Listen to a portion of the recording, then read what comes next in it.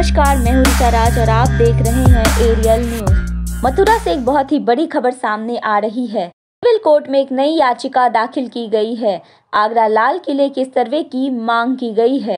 पौराणिक मूर्ति के दबे होने का दावा किया जा रहा है। बता दूँ कि ये केस मथुरा सिविल कोर्ट में दाखिल हुआ है। कहा जा रहा है कि इसकी खुदाई करवाई जाए और मूर्ति निकलवाई जाए। आज सिविल कोर्ट में बहुत ही अहम सुनवाई होनी है।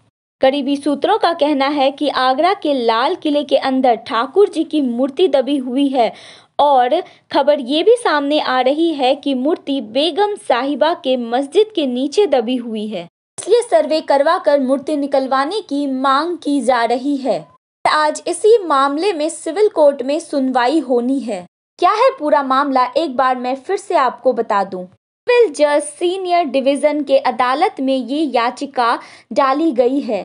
आगरा के लाल किले के अंदर बेगम साहिबा के नीचे ठाकुर जी की मूर्ति दबी हुई है और इसलिए सर्वे कराकर जल्द से जल्द मूर्ति को निकलवाने की मांग की जा रही है। लाल किला सर्वे से जुड़े अपडेट्स के लिए बने रहिए एरियल न्यूज़ के साथ।